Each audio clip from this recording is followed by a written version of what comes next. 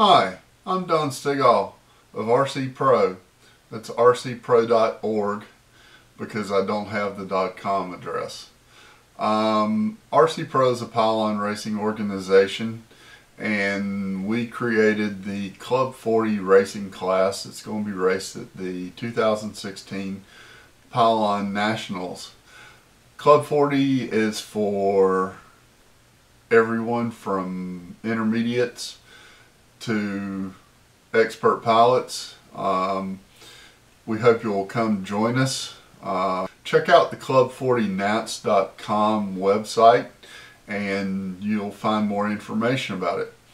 There's also going to be Warbird racing at the 2016 Nats and the Warbird racing at the at the 2016 Nats is going to be on the Friday and Saturday uh, unfortunately, Warbird and Club 40 overlap, so you'll have to pick between one or the other.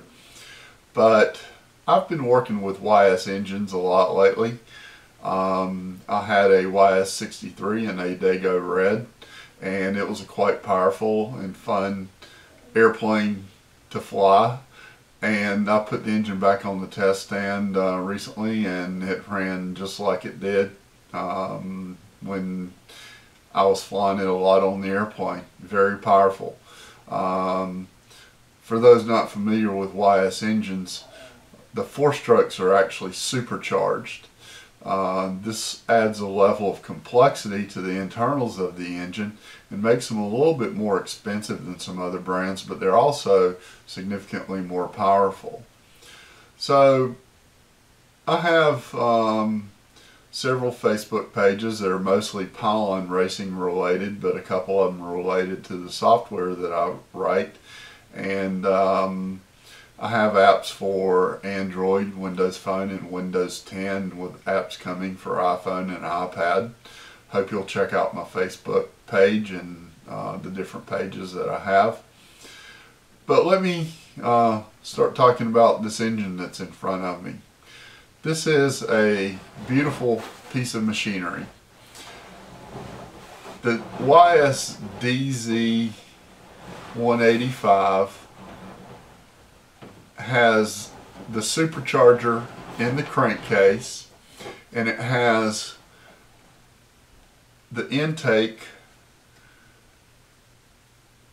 facing up which is kind of unusual for four strokes because the air comes in and it goes into the crankcase and it comes back from the carburetor through the intake tube into the uh, intake valve.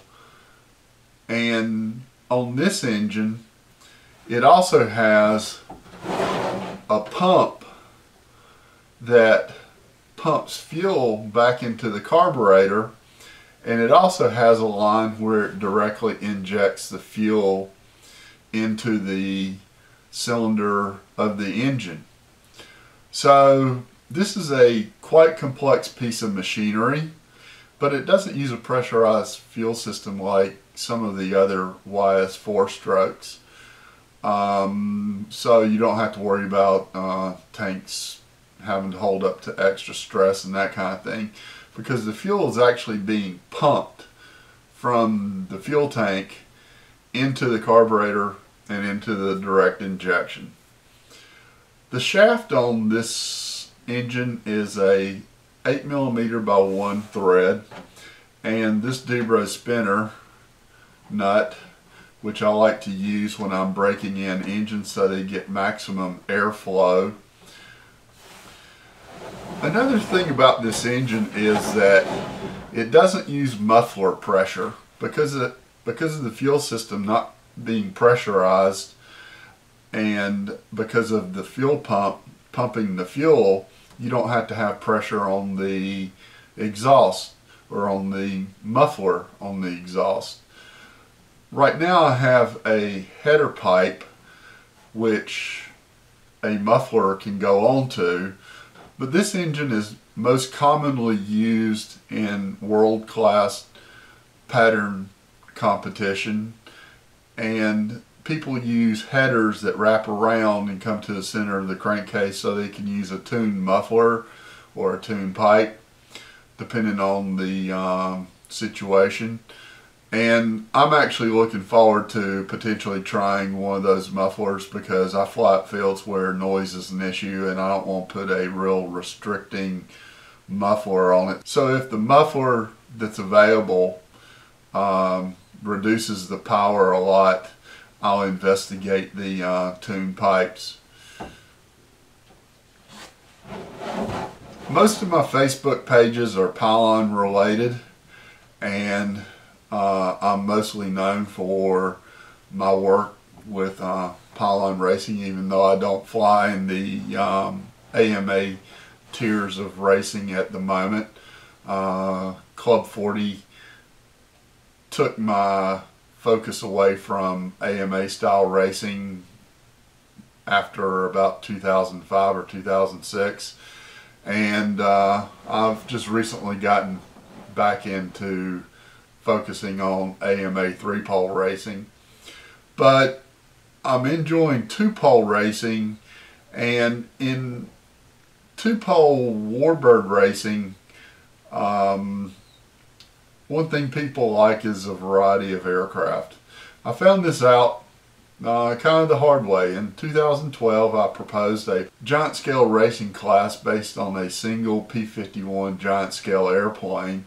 I heard from people that they wanted um, multiple airplane choices and uh, we opened up the airplane choices and then we started hearing from people that they wanted more engine choice. So we have opened up the engines to any engine under 40.99 cc's and with this being a 1.85 cubic inch engine it's well under the 40 cc limit but I've been working with 30 to 35 cc gasoline engines and they can typically turn a 18 by 8 prop at 7800 to 8300 RPMs.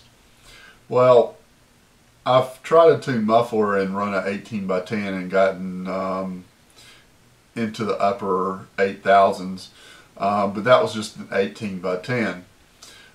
I've talked to Richard Verano at YS Engines about what props to use on this engine, and I've also heard from other people via Facebook and other means that I need to go with an 18 by 12 or 17 by 13 prop or the engine will be revving too high. Uh, it produces uh, maximum power in the 7,000 to 8,000 RPM range and uh, you want to prop it so that it runs in that range. So when I put it on the test stand, this engine's already been run at YS, uh, so it won't be a true break-in, but it hasn't it hasn't been run enough to be fully broken in. But Richard recommended that I start with the 17 by 13 since the 18 by 10 was the highest pitch 18 inch prop I have. So I'm interested in seeing how this engine performs against the uh, gas engines that are in the same uh, size range and against other four strokes. I've run a Saito 180 and it would turn an 18 by 8 at about 7800 RPMs which is not bad but based on my knowledge of the YS63 versus the Saito 82, uh, the YS63 outturns the Saito 82, and I expect this 185 is going to significantly outturn the uh, Saito 180. So we'll see if it gets me into the range I need to be in to run it in Warbird 80 racing. And it has been primarily used for pattern, so I'm going a little outside of the uh, normal use of the engine, although I have heard from another racer that he's run a 16 by 16 prop with 50% nitro and got an extremely good performance out of the engine. I don't know what size of airplane it was, but um, I know this guy goes fast and um, I'm really looking forward to getting this engine on the test stand and seeing what it'll do. Uh, speaking of test stands, this is the PSP test stand base and these are the lug mounts that fit on the base. Uh, they're adjustable and you can also put um, plates for gasoline engines that have um, backplate or radial mounting and um, this test stand is plenty strong to hold this engine. I'll actually be using a PSP vibration dampening test stand because that's what I have on my tripod test stand. My tripod test stand was designed to be portable. I have a PSP post in my yard but my yard ends in a floodplain and we've had a lot of rain and it's muddy as it can be around my post so I'm using my tripod test stand in my driveway um, even though I don't like running engines close to the house just for safety purposes, animals, whatever.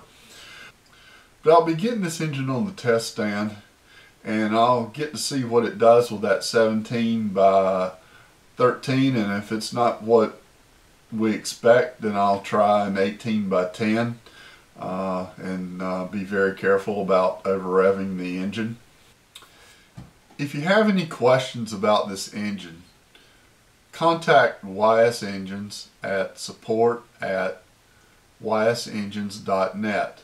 ysengines.net is the website for YS USA and uh, they'll be glad to talk to you about the engines, make recommendations, um, help you with um, any issues you may have that the manuals don't cover and um, they have a new website coming at ys-engines.com so you can watch the progress of the new website and they will be selling direct. They're currently selling direct but uh, the website doesn't um, really indicate that all that well. So you can buy these engines direct from YS in the US and if you can't find the engine at one of the usual YS engine suppliers, contact YS at ysengines.net. The contact page has the phone number and they'll be glad to talk to you about the engines and they'll be glad to sell them to you. They have very good part support. Um, I've seen the parts list and it's an extensive list. So they have replacement parts for any part of the engine you may need a part for and um, they offer excellent service uh, they refurbish engines they repair engines. So your investment in a YS engine doesn't end when you uh, when you spend your money. Um, these engines are a little bit more expensive than the gasoline engines in the same power range. Um, but by the time you add a uh, tune muffler or tune pipe and a header and other things to bring the performance up to this engine, uh, you may wind up spending more money than if you'd gotten one of these. These engines do run on glow fuel. They need to have at least 20% synthetic oil in the fuel.